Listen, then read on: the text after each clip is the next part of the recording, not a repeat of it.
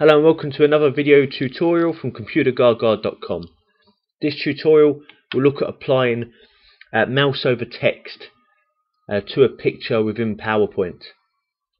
So what we want is similar to what you would experience on the internet.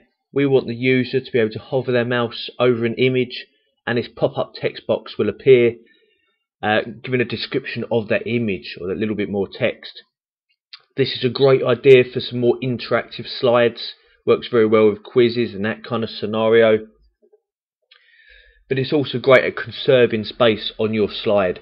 Whereas obviously fitting a text box somewhere in this slide would, would make it that little bit more cluttered. We all need ability just to hover over and get some information uh, about these uh, extinguisher types. Now PowerPoint does provide some kind of mouse over actions and if we look at them first, if I was to select an image and look at insert in an action, we see that there is a mouse over tab. But PowerPoint does not provide the ability to mouse over and get a text box.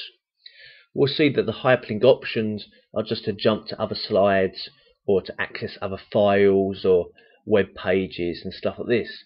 Nothing asks you to display a shape or a text box or something like this. We also the option of programs and macros and, and sounds and stuff here. So we're going to have to be a little bit clever with this. PowerPoint doesn't actually provide the inbuilt feature directly. And what we're going to do is select our image and go for a hyperlink option. We're going to do this because the hyperlink will allow us to provide some screen tip text. So I'm just going to click on this screen tip button here. I'm going to paste in some information about that extinguisher which I had copied on the clipboard and click OK. And at the moment we are setting a hyperlink. What I don't want is the user to be able to click on that image and for it to actually take them to another slide or something like that. So I'm going to click on this bookmark button on the right and I'm going to select the slide that I'm on. Click OK, click OK again and now I've ensured that when the user clicks on this it won't go anywhere but it will still display that text.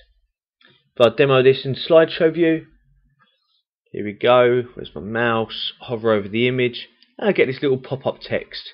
Yet clicking it won't take the user anywhere.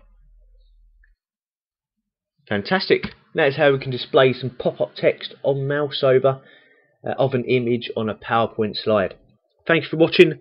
Please check out some of our other tips and tricks at computergaga.com.